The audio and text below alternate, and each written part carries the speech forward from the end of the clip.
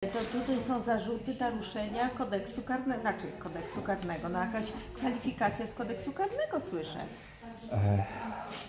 Ani rzecznik dyscyplinarny, nawet pan sam, ani sąd dyscyplinarny, nawet w Izbie Dyscyplinarnej nie rozstrzyga, czy ktoś popełnił przestępstwo, czy nie. No wiemy. O tym prawomocnie rozstrzygają sądy karne, a postępowanie karne inicjuje prokurator.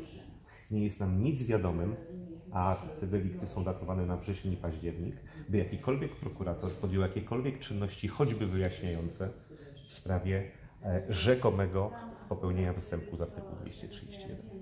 Ale chodzi o to, żeby się sprawą zajmowała Izba Dyscyplinarna. Tylko i wyłącznie o to chodzi. Tylko A jak chodzi o zasady etyki zawodu, to które przepisy mogły być naruszone?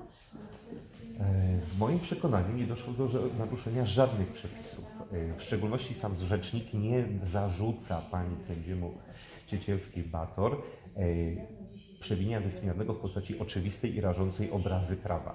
Twierdzi, że te przepisy naruszyły, są przewinieniem dyscyplinarnym względu na naruszenie godności sędziego.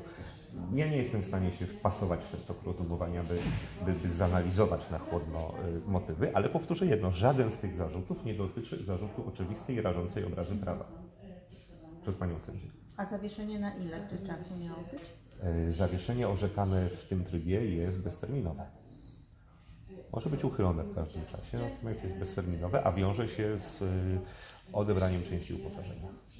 Przy czym my do tej chwili w ogóle jeszcze nie rozpoznajemy kwestii wniosku o zawieszenie, rozpoznajemy wyłącznie kwestie, y, kwestie e, formalne. o godzinie 14 sędziowie Izby Dyscyplinarnej podejmą prawdopodobnie decyzję w sprawie trzech wniosków, które Pan złożył. Czy mógł Pan w takim skondensowanym skrócie przybliżyć, e, czego te wnioski dotyczą? E, nie, ich nie ma trzech. Tak naprawdę do tego momentu mówimy o dwóch wnioskach.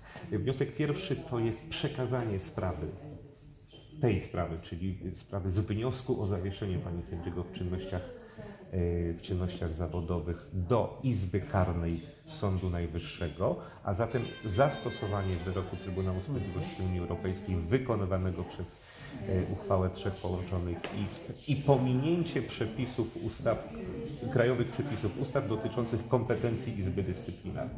To jest wniosek pierwszy. Wniosek drugi e, to jest wniosek o pozostawienie bez rozpoznania y, wniosku rzecznika dyscyplinarnego y, o zawieszenie pani sędziego w czynnościach służbowych jako wniesionego przez osobę nieuprawnioną. Y, To nieuprawnienie wywodzimy z kolei z trzech podstaw. To jest kwestia mm, niewłaściwego powołania, a w zasadzie braku wyboru przez Krajową Radę Sądownictwa.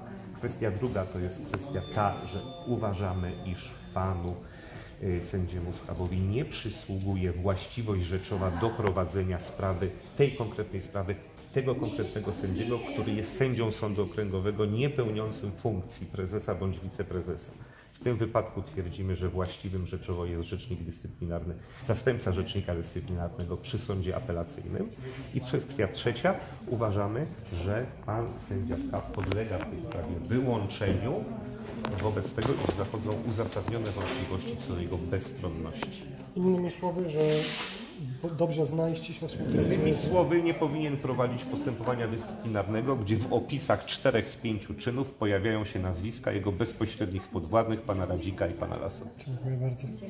Dziękuję. A przepraszam panie mecenasie, czy tu nie powinien odezwać się wziąć e, jakiś językoznawca, który by powiedział, czy wybór i mianowanie to są tożsame słowa, czy przejęcie i prowadzenie to są te same pojęcia? Nie uważam, żeby w tym zakresie potrzebna była pomoc językoznawców. Każdy, kto posługuje się w miarę dobrze językiem polskim, e, jest w stanie prawidłowo zdefiniować zakresy znaczeń. Wybiera, powołuje, przejmuje, prowadzi. Dziękuję bardzo. Dziękuję.